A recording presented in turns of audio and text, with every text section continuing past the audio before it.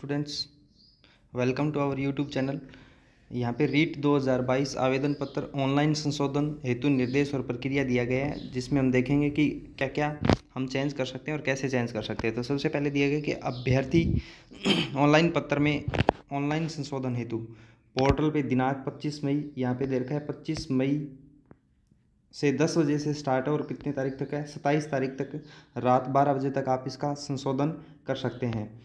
उसके बाद में है कि अतः आपसे आग्रह है कि आपके आवेदन में कोई संशोधन वांछनीय है तो आप कर लें और उसके अंदर आप देख करके पूरा फॉर्म आपके पास प्रिंट आउट है, उसमें देख लें कि क्या कुछ गलती है तो उसमें क्या संशोधन कैसे किया जा सकता है वो देख रहे हैं।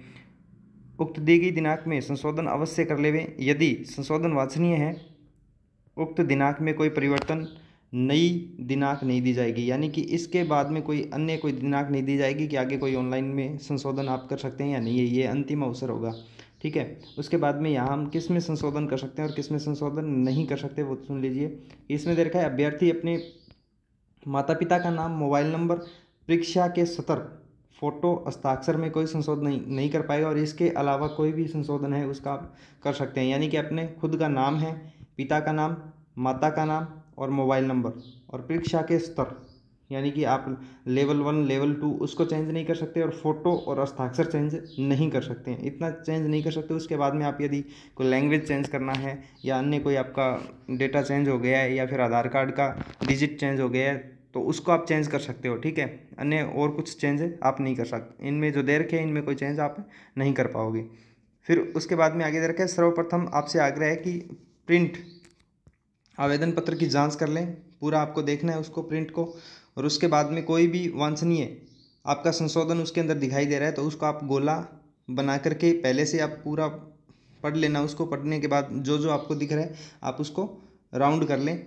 उसके बाद में कोई, क्योंकि ऑनलाइन पोर्टल संशोधन की प्रक्रिया में आपके मोबाइल नंबर पर एक ओटीपी आएगा, एवं आपको उसी समय संशोधन करना होगा। कृपया ओटीपी का इंतज़ार करें। आप एक उसको स्टार्ट करेंगे तो उसके ऊपर एक ओटीपी आएगा, और ओटीपी के बाद में वो तीस मिनट तक वेरीफाई करवाएगा, ठीक है? उसमें आपको समय वेरीफाई के हेतु तीस मिनट का समय दिया जाएगा। एक बार ओटीपी भेजने के पश्चात कंप्यूटर ब्राउज़र को बंद न करें, ऐसा ना करें कि आपके पास ओटीपी नहीं है, ये आप कंप्यूटर को बंद कर दें कंप्यूटर को ऑन रखें और ओटीपी जैसे ही आती है, आप आगे की प्रक्रिया जारी रखें। फिर उसके बाद में दिया कि वेबसाइट का लिंक है, वो लिंक हम आपको डिस्क्रिप्शन बॉक्स में दे देंगे या फिर आप रीट दो हज़ार बाईस लगाएँगे, वहाँ पे आप कर सकते हैं उस संशोधन को। वेबसाइट पे उपलब्ध रहेगा, जिसमें चलान नंबर, आवेदन पत्र, रजिस्टर नामांक और माता का नाम, जन्म दिनांक आदि भरने पर आपको आपका मोबाइल नंबर पर एक चलान दिया जाएगा और ओटीपी आएगा। ओ वेरीफाई करने के बाद आपका आवेदन पत्र खुल जाएगा और उसमें आप जैसे जैसे करना चाहते हैं, वैसे आप कर सकते हैं। ये ओटीपी और किसी को आप ना बताएँ। आवेदन खुलने पर आपके नाम माता पिता मोबाइल नंबर, परीक्षा के स्तर, फ़ोटो हस्ताक्षर में कोई संशोधन नहीं किया इसके अलावा अन्य है, उसमें आप संशोधन कर सकते हैं।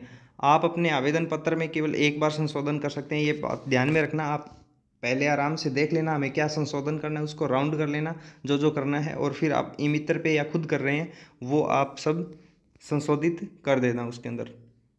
इसलिए आपसे आग्रह है कि पूर्व में प्रिंट किए गए आवेदन में जहाँ संशोधन चाहते हैं, संशोधन मार्क कर लें तत्पश्चात संशोधन हेतु पोर्टल पर जाएँ। क्योंकि आप पोर्टल पर जाओ और जाने के बाद भी आप संशोधन नहीं कर पाओगे, उसके बाद भी त्रुटियाँ रह जाएगी।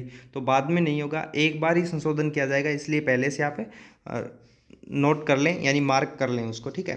एक बार सबमिट करने के बाद पुनः संशोधन नहीं कर पाएँगे, ठीक है? बाकी और जानकारी यदि आप लेना चाहते हैं तो हमारा जो ज्वाइन टेलीग्राम करें और उस पर हमें मैसेज लिख दें। जो जो आपको पूछना है, हम आपके लिए बताएँगे या फिर आप हमारे यहाँ पे कमेंट कर सकते हैं। Thank you.